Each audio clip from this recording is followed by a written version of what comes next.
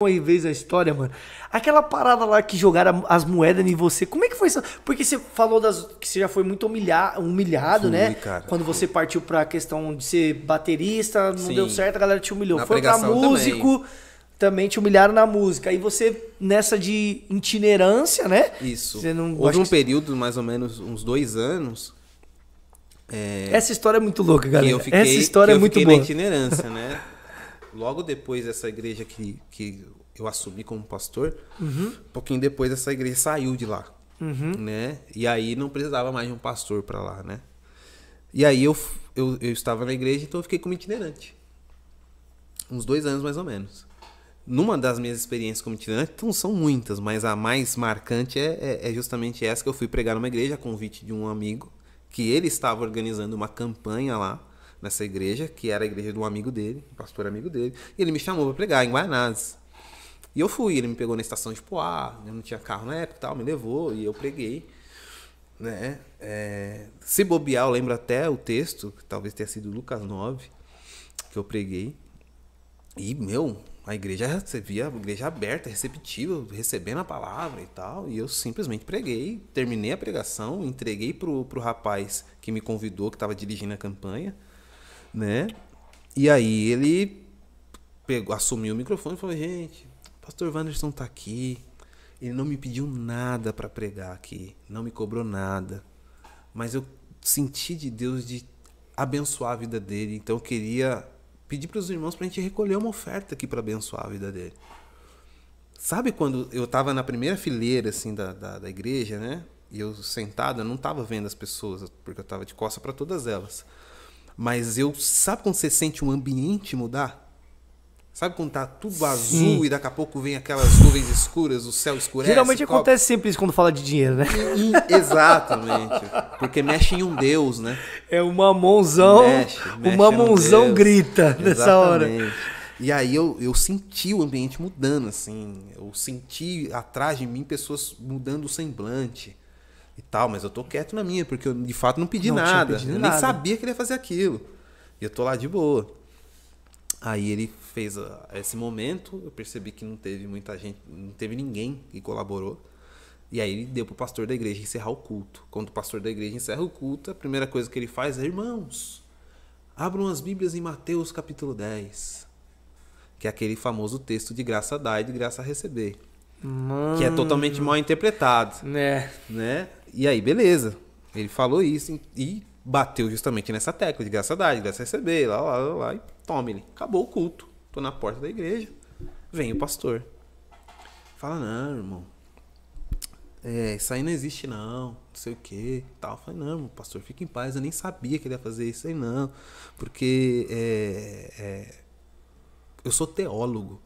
Ah, ele foi isso mesmo, ele começou a É, meter a mala, é, né? Eu sou teólogo e tal. Eu falei, não, pastor. E eu tentando manter a calma, ali, então Sim. fique em paz. Eu mantive, inclusive. Até porque você é bem tranquilo. Muito, mano, muito tranquilo. Só tem duas pessoas que conseguem me tirar do sério. Duas. E mesmo assim eu me seguro ainda, mesmo fora de mim. Eles têm o dom. É um dom. e aí ele tá. Né? Então esse texto de graça dá e, e quis, tipo, me dar uma aula de, Aham. desse texto. Eu falei, não, pastor, fique em paz e tal. Mas deixa eu perguntar uma coisa. Aí eu falei, deixa eu perguntar uma coisa, pastor. Você já leu as concordâncias desse texto? Já leu Lucas 10? Dele, não, o que, eu sou teólogo, rapaz. Fiz não sei quantos anos de teologia. Eu falei, tá, você já leu 1 Coríntios 9, a defesa do apostolado e da remuneração do apóstolo Paulo? Já leu Gálatas 6? Comecei a citar referências bíblicas para ele. Já leu 1 Timóteo, 2 Timóteo? Ele ficou bravo. E eu tava de boa, falando tranquilo, de Aham, verdade. E Mas aí- com o intuito de ensinar ele pra ele não ficar com aquela atitude arrogante dele, né? Exatamente. E aí, os obreiros dele já estavam meio que armado contra mim também por conta Hum. disso. E aí ele falou. E o, e o cara que me chamou já tava no carro. Nem pra interceder por mim. Já tava no carro. E aí o, o, o, o, pastor, que você é um vagabundo, rapaz. Você não quer trabalhar. Mano. E aí vem aqui pegar oferta na igreja. Ô fulano, que é um obreiro lá. Pega uma ofertinha aí pra esse, pra esse cara aqui. Você é um vagabundo, não sei o que, pega mensagem copiada de DVD aí, vem aqui e acha que tá pregando, não sei o que. Aí o cara veio com umas moedas. Deu pra ele, ele pegou as moedas, jogou em mim assim, tô aí sua ofertinha, pode ir embora agora, tô aí sua ofertinha. E a esposa dele, calma, amor, calma, o que? Esse vagabundo aí, não sei o que e tal. E aí jogou as moedas em cima de mim, falou pra, que era ofertinha, né? Tô aí sua ofertinha. Nossa, irmão, E aí nessa, os, eu- cara, era o Espírito Santo mesmo. Era o Espírito Santo. Eu sempre fui Só o tranquilo, mas o Espírito mesmo. Santo Não, me numa dessa deixou daí é mais só o ainda. Espírito mesmo. E ele, a única coisa que eu disse pra ele depois disso, eu falei: fique em paz, pastor. Deus abençoe. Virei as costas, entrei no carro. Aí o cara já tava no carro, né? Que ele não teve nem coragem de, de ir lá. Ficou me pedindo desculpa de Guaianás até Poá. Quando eu cheguei em casa, eu já cheguei dizendo, Dani, eu nunca mais eu prego na minha vida. O que aconteceu? Que? Já te conto, mas eu nunca mais vou pregar na minha vida. Mas é humilhação, Acabou. né, mano? Acabou, não, não, não Que vou loucura, passar por né? isso mais. Mas o que aconteceu? Aí eu contei pra ela com ela ficou revoltada. Ela falou, se eu tivesse lá, eu ia voar no pescoço dele. Mano, é bem ela é assim, mano. Não, mulher, ela é mais mano. Não, esquentada, vai ser mulher, mulher, mulher, mulher, tal. mulher assim, mano. E aí ela. Eu fiquei muito, muito, muito mal, assim. Muito mal, muito mal, muito mal. E quando eu achei que tava de boa, aconteceu a outra de eu ir pra uma igreja também, que era até uma igreja que tinha um poder legal, aquisitivo. E eu não tinha carro, né? Então me chamaram pra pregar. Eu falei, não, vou tranquilo. Alguém consegue me pegar no- na, na Praça do Relógio? Ah, ninguém vai conseguir te pegar lá, mas se você chegar na igreja, com certeza a gente consegue um irmão pra te trazer. Falei, tá bom. Só que era um daqueles períodos que tinha chovido muito e enchido Poá. E quando enche Poá, a água vem de ferraz. E eu não tinha dinheiro, eu tava sem trabalhar. Eu não tinha dinheiro pra pegar a condução. Então eu fui, beirando a linha do trem onde tinha, a água tinha baixado, mas tinha acabado de ter uma enchente, tinha lama todo quanto é lado. Eu fui beirando a linha do trem, ali no caminho do Sesc, em Ferraz, fui indo a pé pela igreja, fui andando. Na época eu usava terno, eu nunca gostei, mas usava por respeito à à igreja. Fui com terno, que é o único terno que eu tinha, que minha mãe me deu pra casar. e eu fui. Quando eu cheguei na igreja, eu tava. o terno não era mais preto de risca de giz, era a cor do- da lama quando eu Nossa. cheguei na igreja.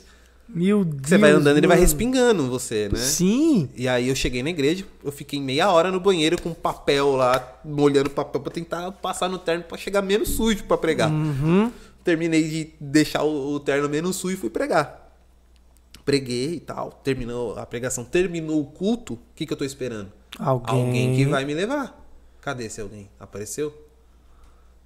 Todo mundo, tchum, saída pela direita. Meu Deus, Sumiram negão. todo mundo. Aí o que eu fiz? Aquela lama que eu deixei na igreja, eu peguei ela no caminho de volta.